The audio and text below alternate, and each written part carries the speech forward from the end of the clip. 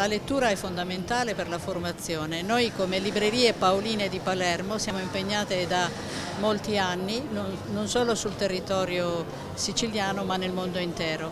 Leggere aiuta a crescere, leggere aiuta a conoscere, leggere può maturare veramente scelte fondamentali per la vita.